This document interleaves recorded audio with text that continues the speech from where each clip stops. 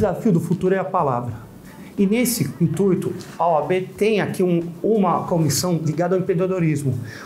Os tempos estão mudando, a advocacia ela tem que se renovar. Por isso, hoje eu estou falando aqui com o doutor Milton, com a doutora Fabiana, com o doutor Armando, que estão à frente da comissão de empreendedorismo.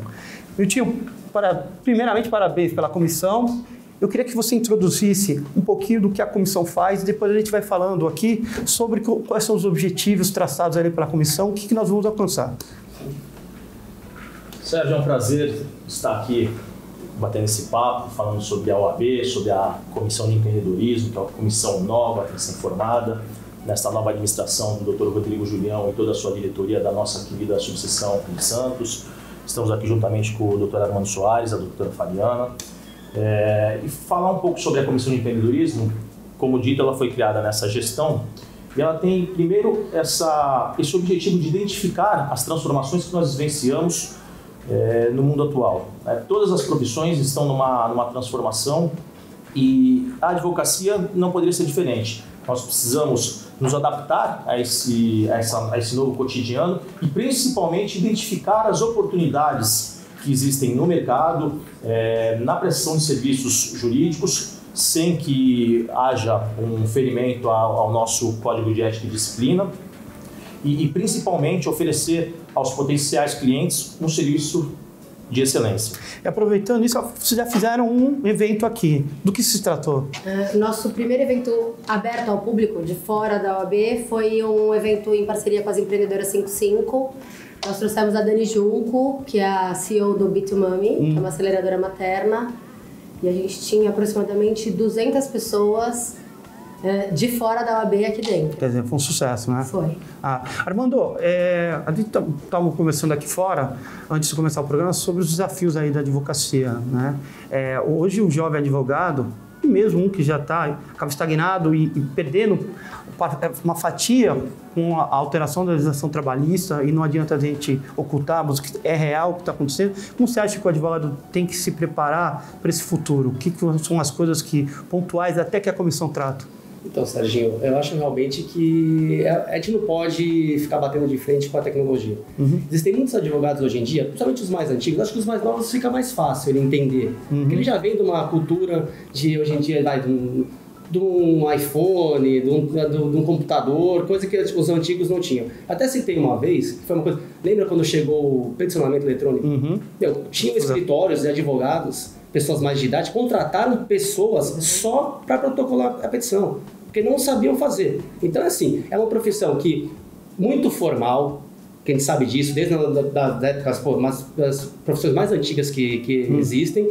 Só que ou o advogado percebe que ele tem que se atualizar, que ele tem que se atualizar tecnologicamente, ou esses que pensarem que, ah, não, não preciso, porque isso aí não vai acontecer. Hum. Tem muito advogado antigo que acha que isso não vai acontecer.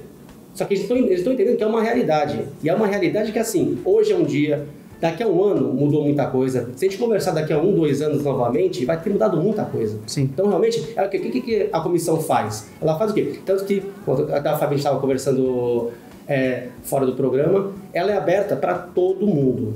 Para todo mundo que queira, não é só advogado, é médico, engenheiro, qualquer pessoa que queira realmente se inter... A gente sempre está publicando as coisas, uhum. a, gente, a gente busca sempre nas nossas reuniões ter uma pessoa falando a respeito dessa tecnologia. de fora. Então, de fora, que não seja do ramo, porque às vezes você fica muito. O, o maior problema do advogado é que até a gente estava conversando com, com o Solito, até inclusive, que ele colocou uma coisa que é interessante o advogado ele tem que pensar não só em trabalhar, em fazer publicações para o advogado, para os outros. Então, tipo assim, então a nossa a comissão está aberta para todo mundo, todo mundo que queira realmente participar. São palestras super interessantes de pessoas realmente capacitadas para isso na área. E que assim, essas pessoas que já vêm com essa realidade. Então, realmente é muito interessante. Perfeito. Na verdade, o, o, o, dois pontos: o advogado tem uma responsabilidade social enorme então ele tem que transmitir isso.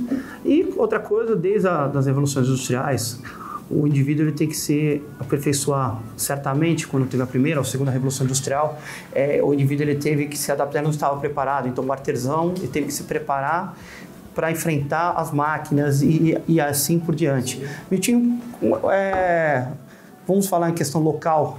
A gente, nossa região da Baixada Santista, Né? Com os desafios, é diferente a gente pegar o Vale do Ribeira, o Vale do Paraíba, a região de Campinas todas, cada um, e, embora todos estejamos no mesmo barco dessas transformações, mas tem realidades diferentes de cada um. Como você imagina aqui a, a Baixada Santista, pelo número de, de advogados que tem, pelo pela a questão geográfica, que acaba sendo extensa até Nova Itaém, Peruíbe. Gente, como é que o advogado ele tem que se preparar com relação ao futuro?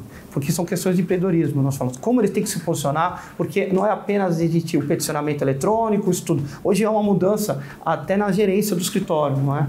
Como que você enxerga isso, essas alterações?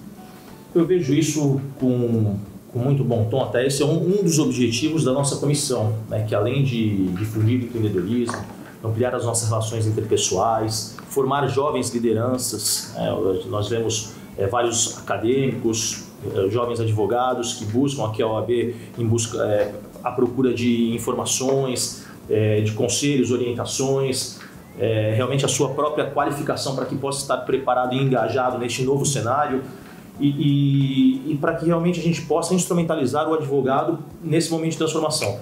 É, estamos até para marcar um, um, debate com outras comissões, inclusive, para é, fomentar e discutir as tendências da advocacia dos próximos, nos próximos anos.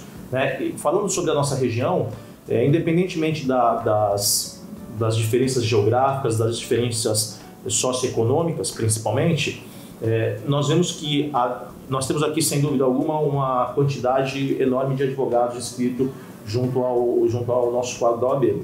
Mas nem todos exercem. É, a advocacia, ela, muitas vezes, ela serviu, é, a, a faculdade de Direito, a, a Faculdade de Ciências Jurídicas e Sociais, ela serviu e serve muitas vezes como outro profissional que ele quer é, resguardar os seus direitos, as suas, as suas prerrogativas e, e, e, usá-lo principalmente como uma ferramenta naquela profissão que ele já exerce. É, eu tive colegas de classe que eram engenheiros, policiais, médicos, é, comunicadores, enfim, de outras profissões que utilizaram a faculdade de Direito, hoje são advogados, mas não exercem a profissão. E para aqueles que exercem, é, acompanhando essas tendências, como já até dito, é, não adianta nós lutarmos contra a, a, a implementação, é, por exemplo, da tecnologia. Isso é, um, é, é, é como se nós dessemos murro na ponta de faca. Uhum. Né? vimos aí a, a questão do, dos aplicativos de, de transporte, né, que é uma tendência mundial, é, os, os, aplicativos de, de hospedagem também, que a gente, e, isso é uma, uma, uma, realidade hoje que não tem como aquele, aquela, aquele cara que exerce a profissional, aquela profissão é, há mais tempo, segmentado dentro de um perfil, lutar contra isso. Né? E nós, na advocacia, também. É, a gente discute se a advocacia vai acabar, se não vai, eu acredito que vai haverá uma transformação muito grande e as áreas cada vez serão mais especializadas. Nós precisaremos é, nos aprimorar.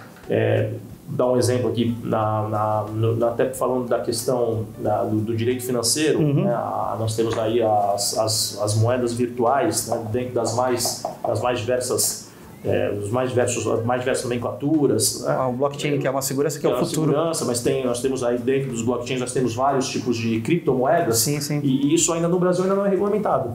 Existe aí uma orientação a partir de agosto em relação a, a como informar no, é, no imposto de renda, mas não há efetivamente uma regulamentação sobre isso. Uhum. E essa tendência é, é um exemplo de que o próprio advogado vai ter que se é, especializar nesse assunto. Sim. Porque as relações é, interpessoais, as relações sociais, elas existirão. Né? Nós continuaremos nos relacionando com as pessoas dentro de determinada sociedade e, e, e de determinado grupo.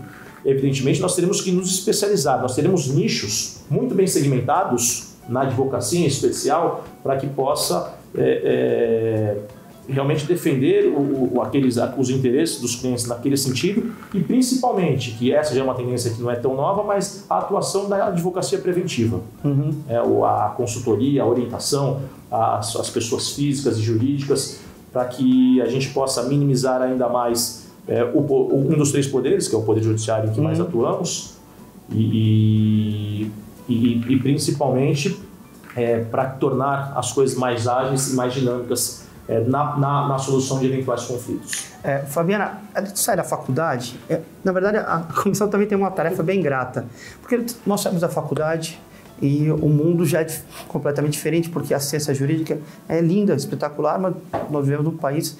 Então, ao longo desse tempo que eu estou advogando, é, a gente sente a dificuldade do sistema. E aí você tem um advogado que sai hoje em a tarefa ingrata até da própria comissão, porque você pega algumas gerações distintas, ou o advogado que já tem mais de 20 anos de formado, ele pegou uma transição, ele se adaptou, mas você pegou uma juventude que já veio, já nasceu com ela, né? Mas em tudo que nós falamos, é mais uma região, regiões menores, como as nossas, embora a nossa seja grande no estado, mas ele não sai com essa ideia de empreender porque eles, a, gerência do escritório, que ele tem que se preocupar com advogar, advogar e gerir o escritório e empreender é uma, algo mais distante para ele, não é? Sim. É, a palavra da vez, eu acho que no mundo é inovação, né? Para hum. todo mundo, em qualquer lugar, principalmente a gente tem que ter essa, essa palavra na nossa cabeça. Uh, empreender, ser empreendedor não é a mesma coisa que ser um empresário. Normalmente, uh, esse pessoal que sai da faculdade tem até bastante uh, novas ideias, tem essa ideia inovadora, mas não consegue tocar o escritório, faz, gerir o dia a dia do escritório, porque isso é uma tarefa empresária. E, é, e a gente não aprende isso na faculdade. Nem, nem empreender, nem ser empresário. Não. É, eu costumava falar quando eu saí da faculdade que ninguém sai da faculdade de direito sabendo advogar. e hoje eu falo, principalmente a gente não sai da faculdade de direito sabendo ser advogado e ser gestor do nosso escritório. É, complexo. É, por isso que a gente procura trazer para a comissão bastante gente de fora, bastante, muitos assuntos externos. Nós vamos ter agora uma palestra sobre gestão, nós vamos ter uma palestra em conjunto com a comissão de startups sobre inovação também. Uh, é, a palavra da vez é unir, empatia, sororidade. Nós precisamos ter isso em mente para conseguir fazer com que a, que a própria OAB e nós mesmos cresçamos. Então, para a gente terminar, eu gostaria que cada um dissesse uma palavra, começando por Armando, Fabiana, o Milton, cada um, para um convite e por que eles deveriam vir à comissão. Armando, por favor. Serginho, eu acho que eles deveriam vir para a comissão porque é de fundamental importância a gente, a Fabiana falou, a gente se unir. Inclusive, a gente está querendo unir outras, as outras comissões também, porque eu acho que assim, o empreendedorismo ele gira muito em torno de todos os ramos da advocacia. Uhum. Não um ramo específico, vai, direito penal, não, é mais focado para o pessoal que atua no direito penal. Sim. Ou o empreendedorismo é uma coisa que a gente faz até o um convite para todo mundo que queira participar, venha participar com a gente, porque não vai se arrepender, realmente é o futuro. Fabiana. Eu, na, no gancho do, do Armando, realmente, a gente quer pessoas de fora, de, de fora da advocacia mesmo, para somar com a gente, para fazer todo mundo crescer junto, não só a advocacia, mas todas as áreas porque o empreendedorismo não é só do direito, não é só de quem é de fora do direito, é um pensamento mundial e... Milton, termine. Muito obrigado mais uma vez, doutor Sérgio, pela oportunidade. Nós estamos aqui nesse programa da OAB em destaque. Deixamos aqui o nosso abraço final a todos os telespectadores, internautas também. Sim, sim. E nós queremos fazer esse convite para que vocês possam participar da nossa comissão, porque como nós dissemos aqui, a Comissão de Empreendedorismo ela tem relações com, a, com, os, com, as mais diversas áreas do conhecimento, as mais diversas áreas do saber, e aqui nós discutimos oportunidades. A OAB Santos ela está de portas abertas, não só para receber você, colega advogado, você, acadêmico de direito, você, estudante, você, mas também você que exerce qualquer outra profissão. É, venha à OAB, participe das nossas atividades. Nós temos uma série de, de, de eventos é, palestras, cursos agendados que, que não são apenas segmentados para o advogado, para aquele que atua na área jurídica, mas também para você que busca informação, busca conhecimento, busca se aprimorar, busca qualificar e, em especial, a nossa Comissão de Empreendedorismo desenvolve, trabalha em parceria com outras comissões, Comissão do Jovem Advogado, Propriedade Intelectual, enfim. É, e, e, nós abordamos aqui os mais diversos assuntos. Falamos de gestão, de planejamento estratégico, é, de relação com os clientes, é, de contabilidade, oratória, é, gestão. E, e, e, sempre trazemos é, pessoas para participar e para ministrar ó, palestras, um bate-papo é, de, outras, de outras áreas. E justamente para que nós possamos trocar essas experiências, trocar informações. E você está convidadíssimo para participar aqui conosco da Comissão de Empreendedorismo da OAB Santos. É, para participar, envie um e-mail para comissões obsantos.org.br. Eu quero agradecer a presença dos três e fazer esse convite, deixar um convite aberto, estendido para toda a população. É, porque o futuro está batendo na nossa porta e a gente tem que se adaptar para a gente poder encará-lo da melhor forma, não estar restrito só à advocacia, como toda a sociedade num todo. Muito obrigado, não deixe de conferir o nosso programa no YouTube.